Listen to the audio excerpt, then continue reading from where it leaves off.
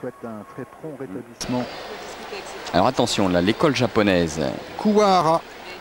et au bar parallèle, ça veut dire quelque chose, Shun Kuwahara. Alors un nouveau venu aussi. Là, car ils sont excellents.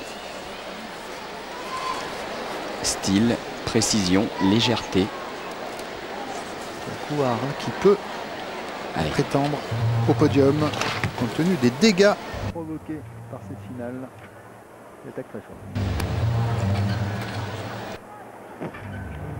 Double dans les bars.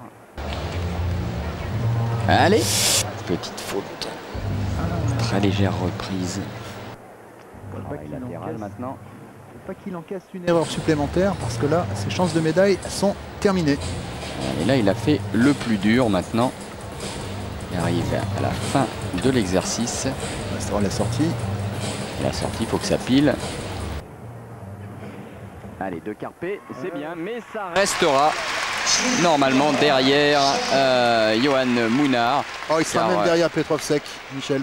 Oh oui, même derrière Petrovsek, c'est possible Ah parce problème. que cette petite reprise très légère, euh, qui ne se voit à peine, est pénalisée. La sortie n'était pas très nette, même si elle était bien enlevée, la réception n'était pas parfaite.